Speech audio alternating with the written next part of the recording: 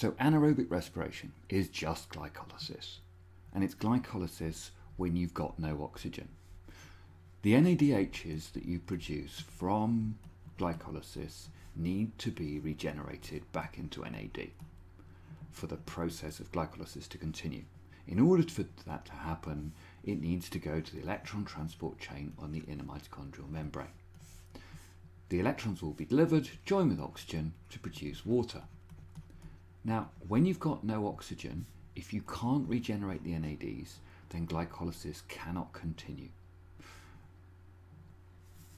If we have a glucose, it's going to get phosphorylated by two ATPs to give you a hexose biphosphate.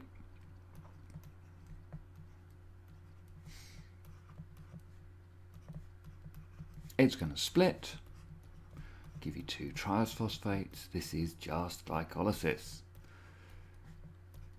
And then it's going to join with another inorganic phosphate to give you a triose biphosphate. And then this splits, oh sorry, after it's split, the two, A, the two phosphates come off and join to these two phosphates on that triose biphosphate and these two come off and they join onto an ADP, another ADP, another ADP and another ADP to give us a grand total of four ATPs.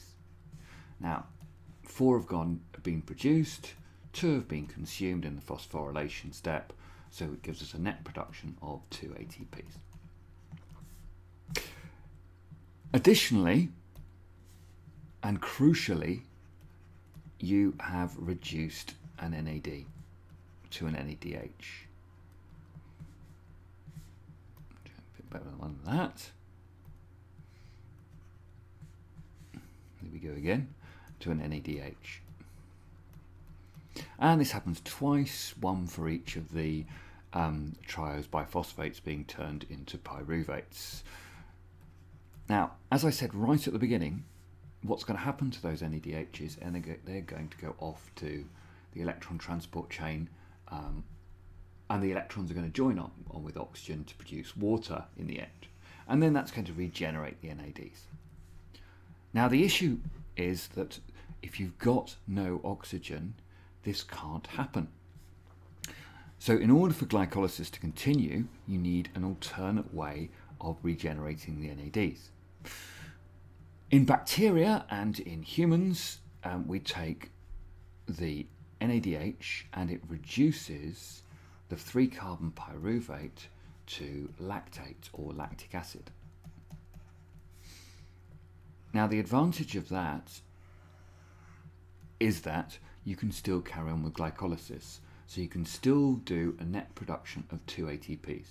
So under circumstances where you are unable to get in sufficient oxygen to meet the ATP expenditure, so explosive exercise, then at that point you would respire anaerobically and regenerate the NAD through sticking the electrons and hydrogens onto pyruvate to produce lactic acid. Now, plants have got a different strategy. Plants and yeast have got a different strategy, which is that they take the pyruvate and they decarboxylate it.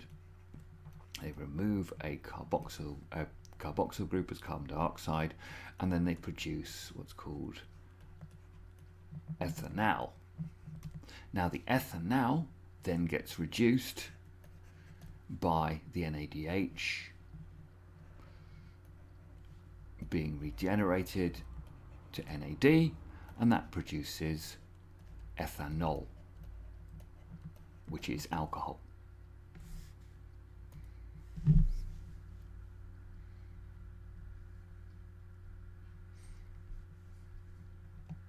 So, final recap anaerobic respiration is just glycolysis with a different way of regenerating the NADs.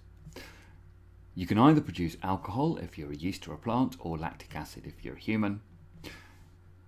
Produces a net production of two ATPs, consumes glucose, does not produce any carbon dioxide, does not consume any oxygen, and ends up producing ethanol if you're a plant or a yeast, or lactic acid if you're a human.